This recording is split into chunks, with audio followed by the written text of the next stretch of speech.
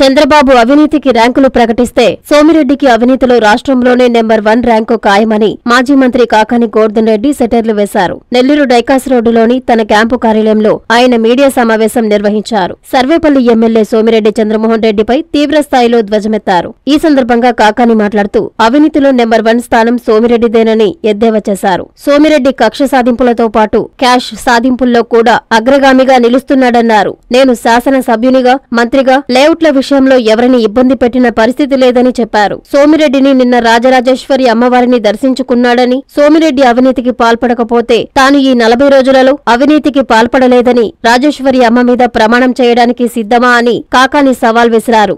అందరికీ నమస్కారం. మొన్న సోమిరెడ్డి పొదలకూరు లేఅవుట్లకు సంబంధించి ఒక పత్రికా విలేకరుల సమావేశం నిర్వహించి పొదలకూరులో అక్రమ లేఅవుట్లు ఉన్నాయి. వాటి మీద చర్యలు తీసుకోవాలా అది ఇది అని చెప్పి చెప్పి చాలా గంభీరమైనటువంటి ఉపన్యాసం ఇవ్వడం జరిగింది. చూశాను నేను. గతంలోనే చెప్పాం పొదలకూరు మండలానికి సంబంధించి ఆధారాలతో సహా మీకు అన్ని వివరాలు కూడా ఇవ్వడం జరిగింది. ఎవరి హయాంలో ఏ విధంగా ఇవన్నీ కూడా పుట్టగొడుగులాగా వచ్చాయి. కాబట్టి దానికి సంబంధించినటువంటి అన్ని ఆధారాలు నా దగ్గర ఉన్నాయి. అధికారులు నివేదికలు సమర్పించారు. సమర్పించినటువంటి నివేదికలు అన్నీ ఉన్నాయి. దాదాపుగా ఎప్పుడెప్పుడు ఏమేమి జరిగిందనేటువంటిది రెండు వేల పద్నాలుగు రెండు వేల పంతొమ్మిది మధ్య పొదలకూరులో ఉన్నటువంటి అక్రమ లేఅవుట్ల వివరాలు మొత్తం సోమిరెడ్డి మంత్రిగా వెలగబెట్టినప్పుడు జరిగినటువంటి అక్రమ లేఅవుట్ల వివరాలన్నీ కూడా అధికారులు రెండు వేల పంతొమ్మిదిలో ప్రభుత్వం అధికారంలోకి వచ్చిన తర్వాత. అంటే మొన్న ఎప్పుడో చెప్పాడు రెండు వేల పంతొమ్మిదిలో అధికారంలోకి వచ్చారు విచారణ జరిగింది. అంటే అప్పుడు ఎవరున్నారు అని అడిగాడు. చూడా ఎప్పుడైనా విచారణ జరిగేది గత ప్రభుత్వంలో జరిగినటువంటి వాటి మీద విచారణ జరుగుతుంది. కాబట్టి రెండు వేల పంతొమ్మిదిలో మా ప్రభుత్వం వచ్చిన తర్వాత గతంలో జరిగినటువంటి అక్రమాల మీద విచారణ జరిపి అధికారులు నివేదిక ఇస్తే దానికి సంబంధించి స్పష్టమైనటువంటి ఆధారాలతో మీడియాకి చెప్పాం మరొకసారి కూడా చెప్పేది ఆ రోజు దానికి సంబంధించి మొత్తం నలభై లేఅవుట్లు ఏదైతే ఉన్నాయో నలభై లేఅవుట్లు కూడా అక్రమ లేఅవుట్ల కింద ఆ రోజు అధికారులు ధృవీకరించి వాటికి సంబంధించి ఆరు కోట్ల యాభై రెండు లక్షల ముప్పై ఆరు వేల నాలుగు వందల ఐదు రూపాయలు పెనాల్టీ కూడా వేయడం జరిగింది. ఏ రోజు వేశారు పెనాల్టీ? ఇరవై తొమ్మిది అక్టోబర్ రెండు వేల పద్దెనిమిది. అక్టోబర్ ఇరవై తొమ్మిదవ తేదీ రెండు వేల పద్దెనిమిదవ సంవత్సరం వేశారు. అప్పుడు తమరు మంత్రిగా వెలగబెడుతున్నటువంటి పరిస్థితి.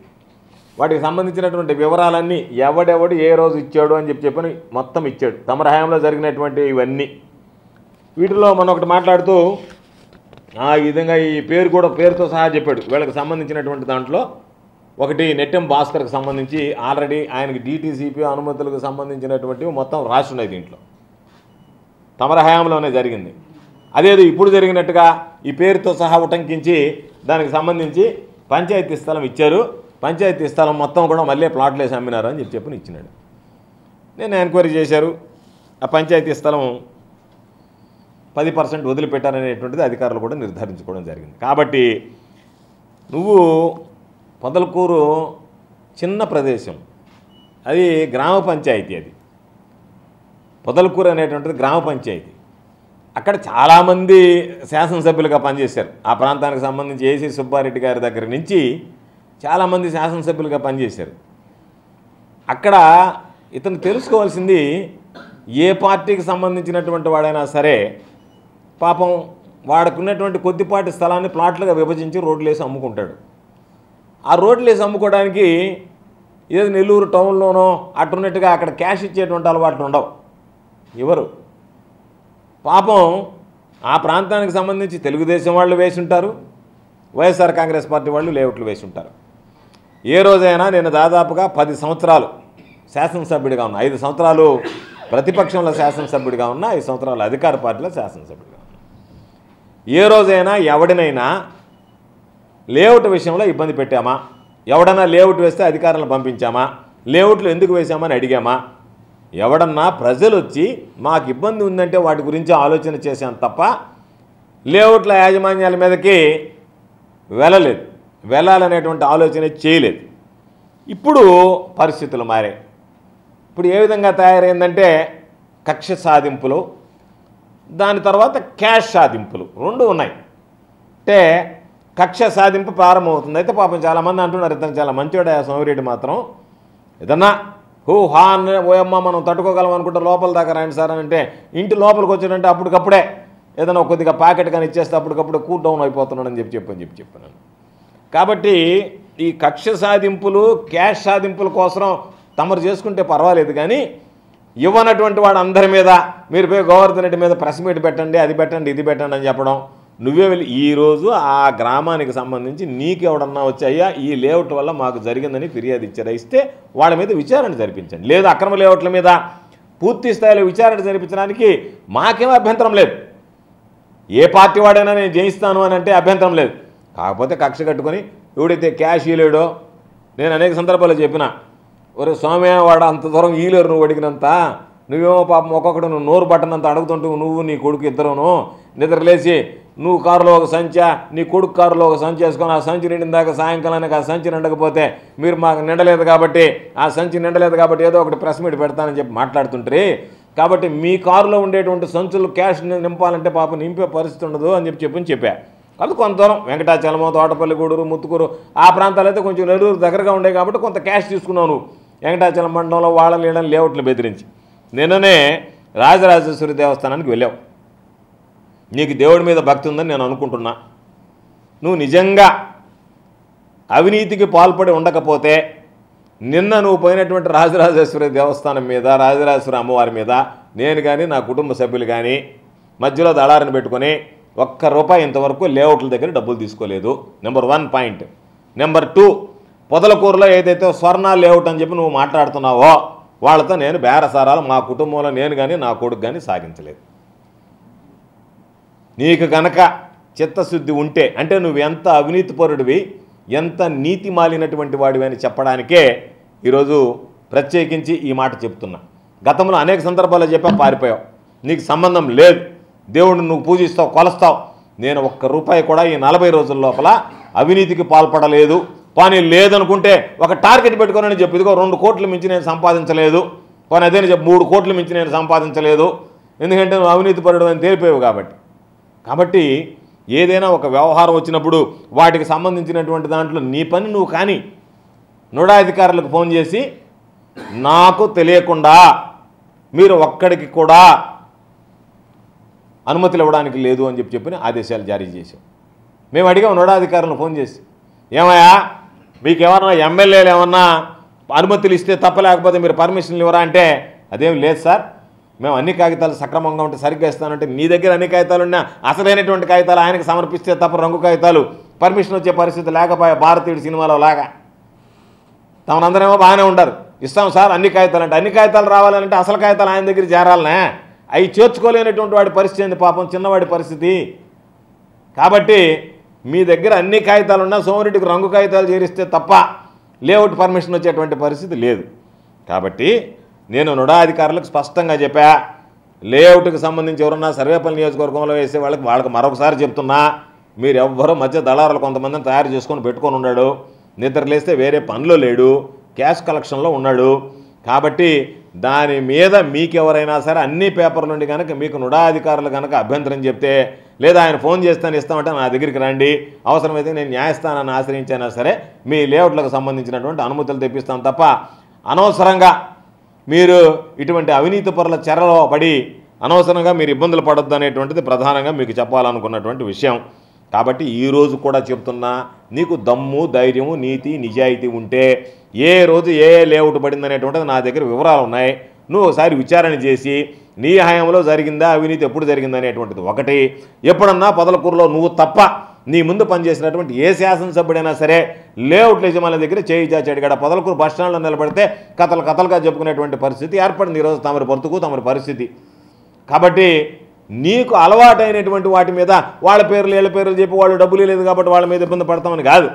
ఒకవేళ చర్యలు తీసుకోవాలనుకుంటే అన్ని లేఅవుట్ల మీద చర్యలు తీసుకో ఇబ్బంది ఏం లేదు. లేదా ఒక సాంప్రదాయం నేను ఉన్నప్పుడు ఇదిగో నాకు డబ్బులు లేనటువంటి వాళ్ళ మీదకే పోతానని నువ్వు ఒక సాంప్రదాయాన్ని తీసుకొస్తే కొన్ని లేఅవుట్ల మీద నువ్వు ఈరోజు దృష్టి పెడితే ఆ తర్వాత ప్రభుత్వం ఎవరిదే శాశ్వతం కాదు. అధికారులు ఇబ్బంది పడతారు? పాపం ఈరోజు ఎవరన్నా ముందు మిగిలినటువంటి వాళ్ళు. కాబట్టి లేఅవుట్లు వేసినటువంటి వాళ్ళు ఇబ్బంది పడుతుంటారు. ఎందుకంటే రాబోయేటువంటి రోజుల్లో ఏ పార్టీకి సంబంధించినటువంటి వ్యక్తులు వస్తే ఆ పార్టీ వాళ్ళకి మినహాయింపించి మిగతా వాళ్ళ లేఅవుట్లు ధ్వంసం చేయడానికి పూనుకుంటే ఇబ్బంది పడతారు. కావాల్సిందేంది నీకు క్యాష్ ఇస్తే ఆ లేఅవుట్లు సక్రమం. క్యాష్ ఇవ్వకపోతే అది అక్రమం. అక్రమ లేఅవుట్కి సక్రమ లేఅవుట్కి బ్రహ్మాండమైనటువంటి డెఫినేషన్ చెప్పాడు సోమిరెడ్డి. సోమిరెడ్డికి క్యాష్ ఇస్తే అది సక్రమం రెగ్యులరైజ్డ్ నువ్వేం ఫీజు గీజేం కట్టబడలే? నోడావాడికి కట్టబడలేదు మామూలుగా రెవెన్యూ కట్టబడలేదు ఊరికి కట్టబడలే. నువ్వు సోమిరెడ్డికి ఫీజు కట్టేస్తే లేఅవుట్ అప్రూవ్డ్ అది మామూలుగా అది రెగ్యులరైజ్డ్ లేఅవుట్ రెగ్యులరైజ్ చేసేస్తాడు. లేదా కొత్తగా తీసుకోవాలన్నా పర్మిషన్ ఇచ్చేస్తాడు. ఇవ్వకపోతే మాత్రం అది అక్రమ లేఅవుట్ కింద తేలుతుంది. కాబట్టి అక్రమ లేఅవుట్కి సక్రమ లేఅవుట్లకి మధ్య డెఫినేషన్ సోమిరెడ్డికి సంబంధించాల్సినటువంటి పే చేయాల్సినటువంటి క్యాష్ని బట్టి ఆధారపడి ఉంటుంది. ఆ విధంగా ఒక మంచి డెఫినేషన్ తీసుకొచ్చాడు. కాబట్టి నువ్వు బుద్ధి జ్ఞానం ఉంటే నువ్వు మనిషి జన్మే అయితే నేను అనేక సందర్భాలు చెప్పా. నేను అట్ట ఇట్టాను కదా నువ్వు విచారణ చెయ్యి. ఈరోజు అధికారం నీ చేతిలో ఉంది. ఎక్కడన్నా ఏదైనా అవినీతి జరిగిందంటే దానికి బాధ్యులు ఎవరో తేల్చు. ఎవడో పాపం దారిన పోయేవాళ్ళు వాడుకున్నటువంటి స్థలంలో పది ప్లాట్లు వేస్తే వాడు డబ్బులు ఇకపోతే వాడి గురించి మాట్లాడేది వీళ్ళు అది వదలలేదు ఇది వదలలేదు అని చెప్పి వాళ్ళ మీద పంపించి ఇబ్బంది పెట్టడం కాదు. నేను నీకు రెండు మూడు సందర్భాలు చెప్పా. ఈ మధ్యనే ముతుకూరు సర్పంచ్ దగ్గర ఒక ప్రెస్ మీట్ పెట్టించి అంతా ఫోర్జరీ డాక్యుమెంట్లు అంతా పెట్టి వైఎస్ఆర్ కాంగ్రెస్ పార్టీ వాళ్ళు తీసుకున్నారు. గోవర్ధన్ రెడ్డి దగ్గరికి పోతే గోవర్ధన్ రెడ్డి దాని గురించి పెద్దగా పట్టించుకోలేదు. వాళ్ళు చెప్పినట్టుగా సంతకాలు పెట్టమన్నాడు అని చెప్పి చెప్పని మాట్లాడాను. అసలు నీకు అడ్మినిస్ట్రేషన్ మీద గ్రిప్ ఉంటే పరిపాలన ఏ విధంగా జరుగుతుందో తెలిసి ఉంటే నీకు క్యాష్ మీద ఉన్నటువంటి శ్రద్ధ మంత్రిగా ఉన్నప్పుడు లేకపోయా నీ ప్రభుత్వంలోనే నువ్వు మంత్రిగా ఉన్నప్పుడే పంచాయతీలకు సంబంధించినటువంటి చెక్కుల సిస్టమ్ తీసేసారు నీకు తెలియకపోయా నువ్వు ఎంతసేపటికి క్యాష్ దొనుకునే పరిస్థితిలో ఉన్నావు తప్ప చెక్కు సంతకాలు ఆడిన ఒక ఎన్ఆర్జీఎస్కి సంబంధించి కాంట్రాక్టర్ పనులు చేస్తారు ఆ కాంట్రాక్టర్లు చెక్కులు ఇస్తారు. పంచాయతీకి సంబంధించి ఏంటి? ఫింగర్ ప్రింట్స్ వచ్చేసాయి. ఎవరైనా పంచాయతీ సర్పంచ్ ఎవరికైనా పేమెంట్ చేయాలంటే దేనికన్నా వేరే వాళ్ళు ఎవ్వరూ సంతకాలు పెట్టరు. సర్పంచే వేలి ముద్ర వేస్తుంది. సర్పంచ్ వేలి ముద్ర వేస్తే వాళ్ళ అకౌంట్లో డబ్బులు జమ అవుతాయి. చెక్ సిస్టమ్ లేదు. ఫోర్జరీ సంతకాలు పెట్టించిన చేత చెక్కులు ఇప్పించినారు అని చెప్పి చెప్పి మాట్లాడించావు ఒకటి. నా దగ్గరికి ఒకసారి ఆ అమ్మాయి వస్తే నాకు గుర్తుంది. నేనేం చెప్పానంటే చదువుకున్నటువంటి అమ్మాయివి. నువ్వు తీర్మానం కూడా మీ పంచాయతీ సెక్రటరీ కాకుండా నువ్వే రాయమ్మా ఎస్టీ మహిళవు నువ్వు అని చెప్పా. బహుశా నాకు తెలిసినంతవరకు ఆ అమ్మాయి నేనే రాస్తాను సార్ అనింది. ఆ తర్వాత నేను ఒకసారి ఆ అమ్మాయిని వాకప్ చేసిన తీర్మానాలు నువ్వే రాస్తున్నావు అంటే నేనే రాస్తున్నాను సార్ అని చెప్పింది. ఆ అమ్మాయి చేత్తోనే తీర్మానాలు రాయమని చెప్పిన బహుశా నాకు తెలిసినంతవరకు ఆ అమ్మాయి ఒకసారి ధృవీకరించింది కాబట్టి ఆ అమ్మాయి తీర్మానం కూడా చేత్తో రాసి ఉంటుందని నేను అనుకుంటున్నాను వాళ్ళని తీసుకెళ్ళి వాళ్ళ దగ్గర పాపం అనవసరంగా ఒక ప్రెస్ స్టేట్మెంట్లు రాయించి అందరి పేర్లు చెప్పి ఏదో ఒక విధంగా ఇబ్బందులు పెట్టడంలో దాంట్లో మరలా నా పేరు చేర్చి ఇవన్నీ నేను నీకు స్పష్టంగా రెండు మూడు విషయాల మీద నీ అవినీతిని గురించి చెప్పా. లేఅవుట్ల గురించి చెప్పా మళ్ళీ ఈరోజు చెప్తున్నా. నీకు ఫ్లయాష్ బాల్కర్ ఎన్నిసార్లు చెప్పాను అన్నిసార్లు చెప్పా. నెలకి లక్ష రూపాయలు నువ్వు దండుతున్నావా లేదా? మీడియాని తీసుకెళ్దాం. ఒకసారి ఎంక్వైరీ చేస్తాం పాపం నీ పుణ్యం అని చెప్పి ఆ జనకో వాళ్ళు ఉద్యోగాలు బాగుంటుకుంటారో జైలుకి పోతారో తెలియదు రేపు విచారణ జరిగితే. మొత్తము ఇక్కడ మీరిచ్చేటువంటి బల్కర్లు ఈ పక్కన ఆ పక్కన అని పేరు రాస్తే ఎక్కడికి పోతున్నాయి? ఏ ఊర్లో అన్లోడ్ అవుతున్నాయి? పదహారు బల్కర్లు నీకు ఇచ్చారు నెలకు లక్ష రూపాయలు నీ కొడుకు వసూలు చేస్తున్నాడు వాళ్ళ దగ్గర. ఆ బల్కర్లకు సంబంధించినటువంటి వివరాలు ఇవ్వమని చెప్పి నేనే ఇప్పటికి రైట్ ఇన్ఫర్మేషన్ యాక్ట్ కింద పెట్టా ఇవ్వలే. కానీ వాస్తవాలు తెలియకుండా బాబు పాపం మీరు అందరూ కలలు కంటున్నారు. ఏమనంటే ఏదో బల్కరు ఫ్లై యాష్ అని ఇస్తున్నాను. బల్కర్ ఓపెన్ చేసి డౌన్లోడ్ చేయాలంటే సిస్టమ్ ఉండాలిరా స్వామి. పాపం నీకు అది నీకు నీ కొడుకు తెలిసినట్లేదు. రేపు పలానా నోడుకని రాస్తే వాడి దగ్గర ఎక్విప్మెంట్ లేకపోతే అది ఎక్కడికి పోయినట్లు లెక్క బల్కర్. కాబట్టి నువ్వు ఫ్లై యాష్ బల్కర్లకు సంబంధించి తమరు ఎమ్మకొట్టుడు కొడుతున్నారంటే మాట్లాడటం లేదు. నేను చెప్పా ఇసుకను గురించి నువ్వు మాట్లాడావు. నేనున్నప్పుడు సర్వేపల్లి నియోజకవర్గానికి సంబంధించి ఎడారిగా మారిపోతుంది గ్రౌండ్ వాటర్ దెబ్బతింటుందని చెప్పి ఇసుక జోలికి రానికుండా చేశా ఎవరిని. నేను పోవడం కాదు. ఇసుక జోలికి రానికుండా చేశా. తమరు నలభై రోజుల్లోనే ఏదో చెప్పినట్టుగా నలభై ఏడు రోజులు అన్నట్టుగా సినిమాలో లాగా తమరు నలభై రోజుల్లోనే ఆ ఇసుక ఏదైతే అక్కడ గ్రౌండ్ వాటర్ దెబ్బతింటున్నామో దానికే అసలు పెట్టారు. ఇరిగేషన్ వాళ్ళు నానా మాటలు మాట్లాడి మీరు రిపోర్టులు రాస్తారా లేదా? మీరు పర్మిషన్ ఇస్తారా లేదా నా దోపిడీకి అని చెప్పి చెప్పి దానికి సంబంధించినటువంటి ఉత్తర్వులు వచ్చిన వెంటనే ఆ వివరాలన్నీ కూడా మీడియా ముందు చెప్పడానికి సిద్ధంగా ఉన్నాం. కాబట్టి అన్ని రకాల దోపిడీకి పాల్పడుతూ ఈ రాష్ట్రంలో బహుశా నువ్వు అనుకుంటున్నట్టుకుండా ఇంకా నాకు ఇది చివరి అవకాశం. ఇంకా నేను పోటీ చేసేది లేదు నాకు టికెట్ ఇచ్చేది లేదు ఇచ్చినా నేను గెలిచేది లేదు. కాబట్టి ఎందుకు దొరికిన దగ్గరికి దోచుకుని పోయి శేష జీవితం హ్యాపీగా గడిపితే పోద్దనేటువంటి ఆలోచనకు వచ్చినట్టుకుండవు. కానీ నువ్వు ప్రారంభించావు అందులో భాగంగా ఆ దోపిడీకి మమ్మల్ని ఉపయోగించుకోబాక అని మేము కోరుకునేది అది. ఎవడో చెప్పాడు పొదలకూరు పిల్లకాయలు వచ్చి చెప్తే ఆ పిల్లడు నవ్వు వచ్చింది. అన్నా ఇతను ఇతను కొడుకు వీళ్ళిద్దరు ఆడిన ఎప్పుడో పోయిన జన్మలో జ్యూస్ కంపెనీలో పనిచేసినట్టుకుంటారు. ఎన్ని రకాలుగా జ్యూస్ పిండొచ్చో. మా వాడు వాళ్ళు పిండేటప్పుడు వీడు కొడుకు సహాయకుడు ఉంటాడు ఈయన మే- మేన ఓనర్ ఉండేట్టుకున్నాడు వీళ్ళిద్దరూ జ్యూస్ అనేటువంటిది ఇన్ని రకాలుగా పిండగలమో అన్ని రకాలుగా పిండడానికి ప్రయత్నం చేస్తున్నారు. మా దగ్గర మేము పోయినమైనని చెప్పి చెప్పారు. అంత సిగ్గుమాలినటువంటి బ్రతుకు బ్రతికేటువంటి నువ్వు ఆ సిగ్గుమాలిన బ్రతుకు బ్రతికే బదులు వీళ్ళ మిగతా వాళ్ళ దగ్గర వాళ్ళ దగ్గర అవినీతికి పాల్పడే బదులు నువ్వు చాలా చెప్పావు నా గురించి ఈరోజు నీకు అధికారం చేతలో ఉంది నేను పదే పదే చెప్తున్నా. నీకు దమ్ము ధైర్యం ఉంటే వాటి మీద విచారణ జరిపించు. మా పాత్ర ఎందుది? నీలాంటి అవినీతి పరులాగా అందరూ ఉంటారని చెప్పి మమ్మల్ని అవినీతి పరులుగా సృష్టించడానికి ఒక ప్రయత్నం చేసావు తప్ప మరొకటి కాదు. కాబట్టి ఇప్పటికైనా బుద్ధి తెచ్చుకొని నువ్వు నీ దందాలు సులు చేసుకోవచ్చు. దానికి సంబంధించినటువంటి దాంట్లో ఇక్కడ అక్రమ లేఅవుట్లు వచ్చినాయి ఇక్కడ వైఎస్ఆర్ కాంగ్రెస్ పార్టీలో పుట్టలు పుట్టలకు వచ్చినాయి. నీ బ్రతుకు అంతా నా చేతుల్లో ఉంది. నేను ఇప్పటికే దీనికి సంబంధించి మీడియాకి ఇచ్చా. ఫోన్ చేసి అధికారులు బెదిరిస్తే వెట్టబోయింది గవర్నర్ నడిచేది అంటే వాళ్ళు వీళ్ళు చేసింది నేను మంత్రిగా పనిచేసినటువంటి వాడిని ఫైల్ అంతా మొత్తం క్షుణ్ణంగా చూసినటువంటి వాడిని ఎవరెవరు దీంట్లో ఉండారో చూసి లాస్ట్కు పాపం పంచాయతీ కార్యదర్శుల మీద యాక్షన్ తీసుకోమని రాస్తే వాళ్ళ మీద ఎందుకంటే వాళ్ళ కడుపులు కొట్టడం అధికారులకు సంబంధించి చేసినటువంటి వాళ్ళందరూ చేసుకొని సంపాదించుకోకపోతే వాళ్ళని కడుపు కొట్టడం దేనికని చెప్పి చెప్పి ఆ రోజు అడ్డుకున్నటువంటి వాడిని నేను. జిల్లా కలెక్టర్గా శేషగిరి బాబు ఉన్నప్పుడు. శేషగిరి బాబు ముందు తమర హయాంలోనే వస్తే ఎవడో ఒకడో బీజేపీకి సంబంధించినటువంటి పార్టీకి సంబంధించినటువంటి వాడు కాగితం పెడితే దాని మీద కలెక్టర్ విచారణ జరిపిస్తే స్పందన పిటిషన్ వస్తే గ్రీవెన్స్లో ఆ రోజు దానికి సంబంధించి ఆ గ్రీవెన్స్లో జరిగినటువంటి దాంట్లో పుంకాను పుంకాలుగా బయటపడ్డాయి. అప్పుడు చెప్పారు విజిలెన్స్ కమిటీలో ఈ విధంగా విజిలెన్స్ విచారణ కూడా జరిగింది. వీటికి రెండు వేల పద్దెనిమిదిలో వాళ్ళు ఆరు లక్షలు ఆరు కోట్ల రూపాయల వరకు డబ్బులు కట్టాలని ఇచ్చారు. సోమిరెడ్డి గారు అడ్డుపడ్డారు అనేటువంటి అన్ని విషయాలు వెలుగు చూసాయి కాబట్టి నీ బ్రతుకంతా ఏందనేటువంటిది మొత్తం రికార్డెడ్గా ఉంటే వీటన్నిటిని పక్కన పెట్టుకొని నువ్వు ఏమీ లేనట్టుగా ఏదో అయిపోయినట్టుగా నువ్వు వాటికి సంబంధించినటువంటి దాంట్లో పాపం డబ్బులు దండుకునేటువంటి పనిలో బిజీ బిజీగా ఉన్నట్టుండవు కాబట్టి నువ్వు మా జోలికి రాబాక. వస్తే గబ్బు పట్టిపోతావు భ్రష్టు పట్టిపోతావు. ఎందుకంటే నీ బ్రతుకు అనేటువంటిది మా అరిచేతిలో ఉంది. మొత్తం నీ బ్రతుకంతా ఇప్పి చూపించగలం. ఎలాంటి బ్రతుకు బతికావు నువ్వు ఎలాంటి బ్రతుకు బ్రతుకుతున్నావు అనేటువంటిది. కాబట్టి నువ్వు ఒక మనిషి జన్మ నీది ఒక బ్రతుకు కింద లెక్కేయటం లేదు. కాబట్టి నువ్వేదో నీ మేము నిన్ను ఒక నీ బ్రతుకు కింద లెక్కేయటం లేదు నేను ఒక మనిషి కింద లెక్కేయటం లేదు. అవినీతి రూపంలో ఉండేటువంటి గడ్డం అవినీతికి ఘటన తగిలిస్తే ఎటువంటిది దానికి నువ్వు ఉదాహరణ నెల్లూరు జిల్లాలో. కాబట్టి ఎవరు ఈ రాష్ట్రంలోనే మిగతా వాళ్ళందరి పాపం మీద కష్టపడి పనిచేస్తున్నారు కానీ దోపిడీలో బహుశా ఏదన్నా ఉంటే number one place Chandrababu Naidu ర్యాంకులు ఇస్తున్నా అంట మంత్రివర్గంలో వీడికి ర్యాంకు పనిచేసే వాళ్ళ వీళ్ళకి ర్యాంకును మనగుడిచ్చాడంట అట్టుగా ఇస్తే అవినీతిలో మాత్రం నెంబర్ వన్ ర్యాంక్ సర్వేపల్లికి సాధించి పెడతాం. నెంబర్ వన్ ర్యాంక్ దేంటోనైనా సరే సాధించడంలో ఈ రాష్ట్రంలోనే బహుశా దేశం స్థాయిలో కూడా ఉండేటువంటి వాళ్ళు అరుదైనటువంటి అవకాశం. ఈ దీంట్లో నెంబర్ వన్ ర్యాంక్ సంపాదించి పెట్టగలరు. దేంట్లో? నిద్ర లేస్తే బేరసారాల తప్ప పిలవడం రూమ్లోకి పిలవడం. ఆ ఏంది నీ సంగతి చెప్పు. ఏ నేను కనపడలేదా? పోయినసారి పోయిన ప్రభుత్వంలో తమరు ఇప్పుడు ఎంత ఇస్తున్నారో చెప్పండి అని చెప్పి చెప్పి నీ క్యాష్ కలెక్షన్ తప్ప నీ బ్రతుక్కి. ఇదిగో ఈ పని చేసే నీ నలభై రోజులు అనేటువంటిది ఏదన్నా ఉందా? కాబట్టి ఎప్పుడన్నా మాట్లాడేటప్పుడు కొంచెం ఉచ్చి నీచాలు ఆలోచన చేసి మాట్లాడు. నువ్వు మాట్లాడితే వంద సమాధానాలు చెప్పగలం. నీలాంటి అవినీతిపరుడు నీలాంటి అక్రమార్కుడు బహుశా అరుదుగా ఉంటాడు. అందుకని అనేక సందర్భాలు చెప్ప మరలా చెప్తున్నా ఇక మీదటైనా నువ్వు బుద్ధి తెచ్చుకొని ఏదైనా ఒకటి వచ్చేటప్పుడు ఒకటి ఆలోచన చేసి మాట్లాడితే బాగుంటుంది తప్ప ఏదో బురద తలించాలనో లేదా ఏదో నువ్వు మాట్లా నువ్వు అనేక రకాలైనవి చెప్పావు కదా వాటి మీద విచారణ జరిపించు. జరిపించి నువ్వేదో నిగ్గు తేల్చు.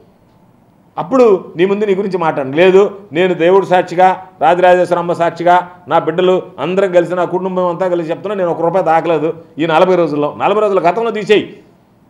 గతం వద్దు. ఈ నలభై రోజుల్లో నేనేమి తాకలేదు. అనేటువంటి మాట అని చెప్పు నీ నోటుకుండా వస్తుందేమో. అదేమిటి నేను ఎందుకు చేయాలా? నేను ఇప్పుడు నేను బడికిన బలకర మీద ఏమన్నా మాట్లాడుతున్నావా?